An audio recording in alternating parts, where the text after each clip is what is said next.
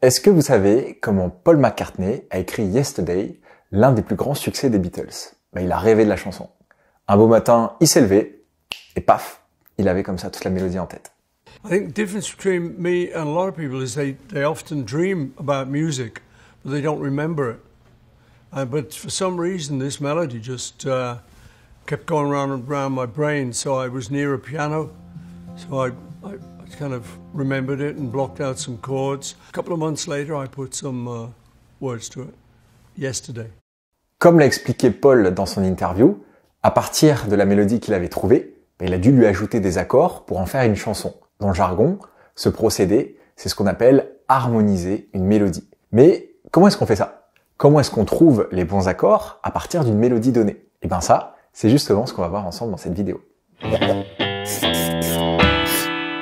Salut les amis, ici Alex de composersamusique.fr, le site qui rend accessible à tous la compo, mais aussi le solfège et l'harmonie. Est-ce que vous savez de quoi j'ai rêvé moi hier soir? Que tout le monde puisse avoir la chance de comprendre le solfège. C'est pour ça que j'ai écrit un petit guide d'une soixantaine de pages, l'essentiel du solfège, qui va vous expliquer les bases de la discipline. Mais non, je rigole.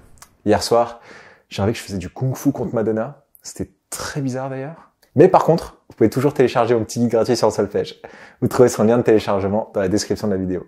Alors, pour harmoniser une mélodie, bah déjà il nous en faut une. Du coup, je vous propose qu'on harmonise ensemble la mélodie du morceau Amazing Grace.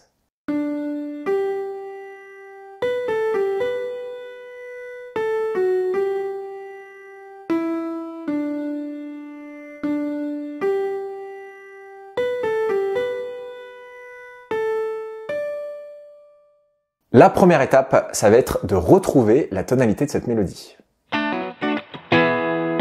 Retrouver la tonalité de la mélodie, ça veut dire deviner la gamme à partir de laquelle elle a été construite. Donc, toutes ces notes-là, de quelle gamme est-ce qu'elles sont issues? Comment est-ce qu'on fait pour savoir ça?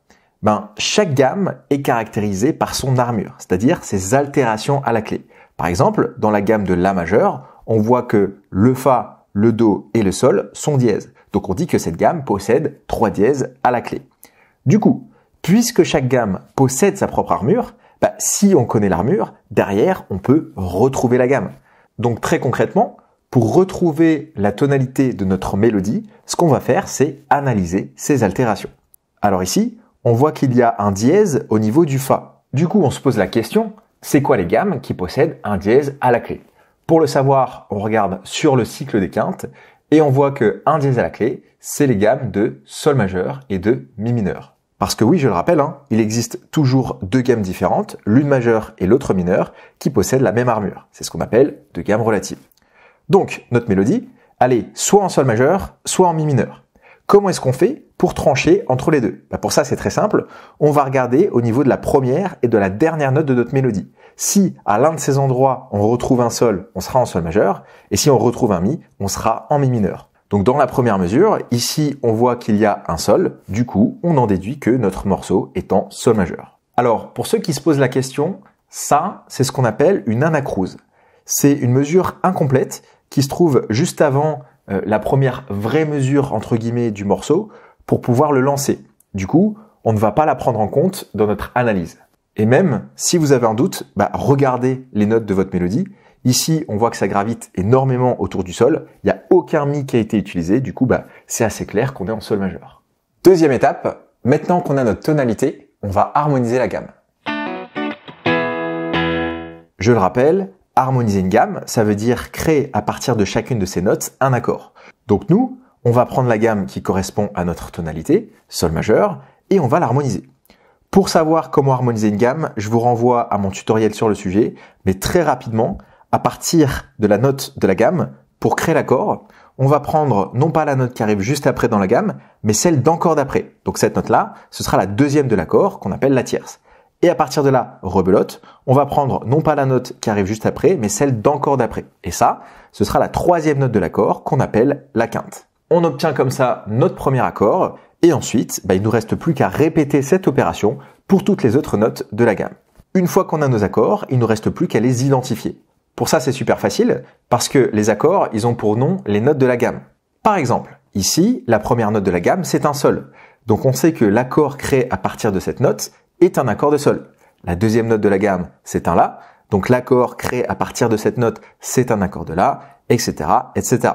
Et maintenant, pour ce qui est de la nature de ces accords, c'est-à-dire est-ce qu'ils sont majeurs, mineurs, etc., bah là encore c'est très simple parce que la nature des accords d'une gamme majeure est toujours la même. Le premier accord qu'on obtient est toujours majeur, le deuxième et le troisième sont toujours mineurs, le quatrième et le cinquième majeur, le sixième mineur et le septième diminue. À partir de là, puisqu'on a d'un côté le nom de nos accords et de l'autre leur nature, bah, on obtient leur identité. Le premier accord de la gamme, c'est un accord de Sol majeur. Le deuxième accord de la gamme, un accord de La mineur. Le troisième accord, un accord de Si mineur. Le quatrième, un accord de Do majeur. Le cinquième, un accord de Ré majeur. Le sixième, un accord de Mi mineur. Et le septième, un accord de Fa dièse diminué. Eh ben, c'est cet accord que l'on obtient, puisqu'ils sont tous issus de la tonalité, et que par définition, les notes de la mélodie sont celles de la tonalité, bah, vous pouvez être sûr qu'ils vont super bien fonctionner pour l'harmonisation. Du coup, pour habiller notre mélodie, c'est parmi ces sept accords qu'on va piocher. Troisième étape, ça va être de vous abonner à la chaîne Composer sa musique en activant la cloche des notifications. Bah ouais, je sais que vous êtes en train d'apprendre plein de choses en regardant cette vidéo. Donc abonnez-vous pour pas manquer les suivantes. En plus, Madonna, elle, elle s'est abonnée à la chaîne. À moins que ça c'était juste dans mon rêve.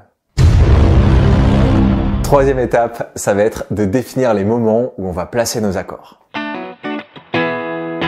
Alors, bien évidemment, on va pas mettre un accord pour chaque note de la mélodie.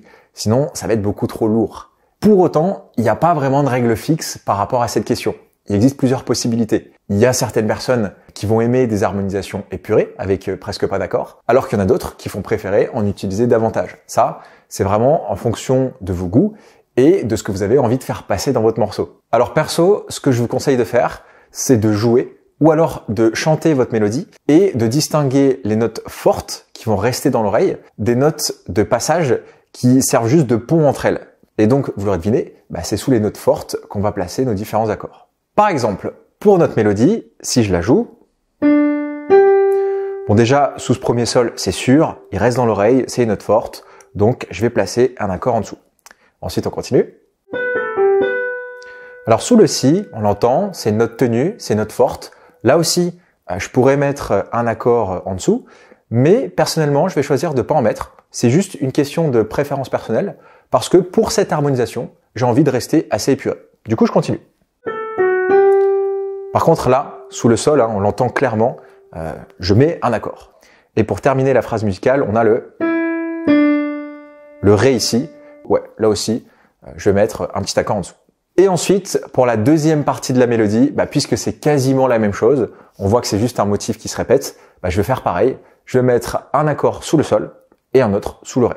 Alors bien sûr, tout ça, c'est juste à titre indicatif. C'est seulement pour nous donner des directions de notre travail. Du coup, bah, rien ne nous empêche plus tard euh, d'ajuster notre harmonisation, soit en ajoutant, soit en enlevant des accords. Ça, on verra bien en feeling.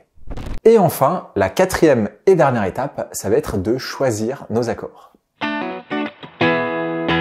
Alors, grâce à l'étape 2, on a sélectionné les accords qui vont bien sonner avec notre mélodie.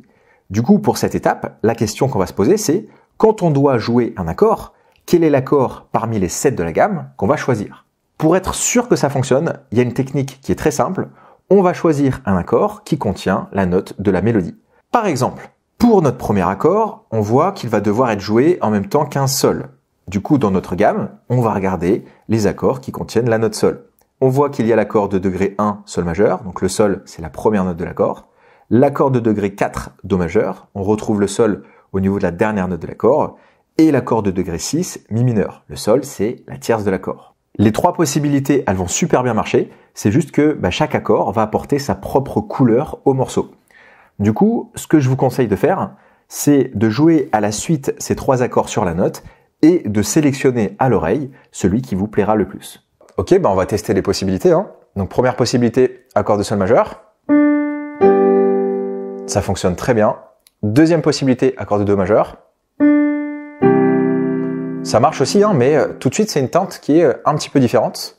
Et enfin la dernière possibilité, on va voir ce que ça donne, mi mineur. Oh, très cool aussi, mais euh, beaucoup plus mélancolique. Alors personnellement, sur les trois, j'ai préféré la première, sol majeur. Ouais, ça j'aime bien.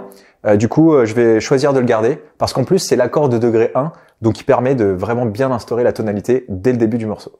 Ensuite, pour notre deuxième accord, on a une nouvelle fois un sol à habiller au niveau de la mélodie. Donc là encore, on va choisir entre les accords de sol majeur, do majeur et mi mineur. Et ben là aussi, on va tester. Alors c'est parti. Première possibilité, sol majeur. Ouais, ok. Ça marche, mais euh, bah, c'est un petit peu fade parce qu'on répète l'accord. Donc euh, je pense pas que je vais choisir celui-là. Je vais tester les autres.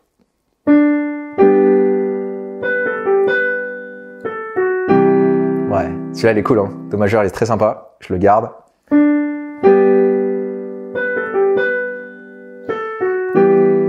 Aussi, hein, très cool, mais tout de suite euh, cette teinte un petit peu plus mélancolique. Euh, je suis plutôt d'humeur joyeuse, donc euh, perso, je vais garder celui de Do majeur. Troisième accord, on a la note Ré au niveau de la mélodie. Du coup, quels sont les accords qui contiennent le Ré dans notre gamme? On a l'accord de degré 1, Sol majeur, le Ré c'est la quinte de l'accord, l'accord de degré 3, Si mineur, le Ré c'est la tierce de l'accord, et l'accord de degré 5, Ré majeur, le Ré c'est la fondamentale de l'accord ce qui nous donne une nouvelle fois trois possibilités. Alors, juste avant qu'on teste ces différentes possibilités, petite parenthèse. Pour chaque note de la mélodie, vous trouverez à chaque fois trois possibilités d'accords dans la gamme. Et vous remarquerez aussi que dans ces accords, la note de la mélodie, elle se trouve à chaque fois dans une position différente. Par exemple, pour habiller le sol, on a vu que les trois possibilités, c'était les accords de sol majeur, do majeur et mi mineur. Dans l'accord de sol majeur, le sol, c'est la fondamentale. Dans l'accord de Do majeur, c'est la quinte, et dans l'accord de Mi mineur, c'est la tierce. Pareil, pour habiller le Ré, nos trois possibilités d'accords, c'était Sol majeur, Si mineur et Ré majeur, et on voit que dans l'accord de Sol majeur, le Ré, c'est la quinte, dans l'accord de Si mineur, c'est la tierce, et dans l'accord de Ré majeur, c'est la fondamentale. Et c'est justement en partie parce que dans ces accords, la note de la mélodie occupe une fonction différente que chacun d'entre eux va apporter une couleur différente au morceau. Voilà je referme cette parenthèse. Et eh ben allons-y, on va tester nos trois possibilités. Donc la première, l'accord de sol majeur. Ça marche nickel. La deuxième, l'accord de si mineur. Très très intéressant aussi. Plus sombre mais très intéressant. Et la troisième, le ré majeur. Ok, très euh, très brillant, je trouve. Euh, des trois, je vais rester euh, un petit peu plus conservateur parce que j'ai pas pris d'accord mineur jusqu'à maintenant. Je vais rester sur euh, l'accord de sol majeur. Et ainsi de suite. Maintenant, je pense que vous avez bien compris la démarche. Du coup, bah, pour compléter mon harmonisation, j'ai appliqué exactement les mêmes principes. Au final, j'ai choisi l'accord de sol majeur, exactement comme tout à l'heure pour habiller le sol, et l'accord de ré majeur pour terminer le morceau. Et si on joue tout ça, bah, vous allez voir, ça va super bien fonctionner.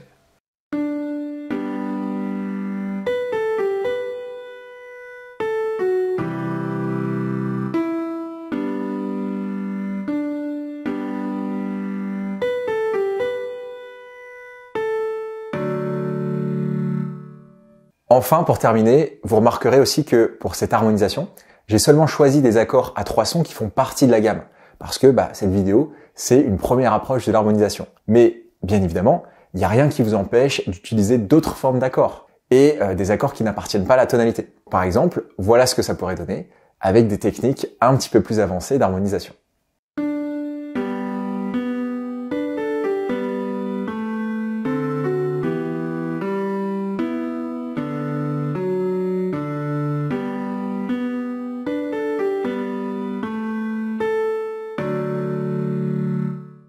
D'ailleurs, si vous voulez apprendre ces techniques, bah, je peux que vous conseiller de suivre ma formation en ligne Compositeur Autonome.